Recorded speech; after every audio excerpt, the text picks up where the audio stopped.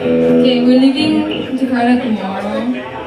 Uh, hopefully I can get good tempe goreng.